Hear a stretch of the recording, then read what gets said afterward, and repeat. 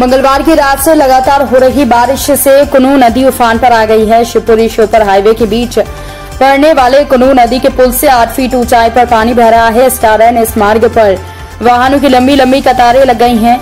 आपको बता दें कि श्योपुर होते हुए राजस्थान से ये हाईवे जुड़ता है। वहीं लगातार हो रही बारिश से कुनू नदी से लगे मनपुरा गाँव में दर्जनों किसानों की फ़सलें तेज नदी के बहाव में बह गई हैं।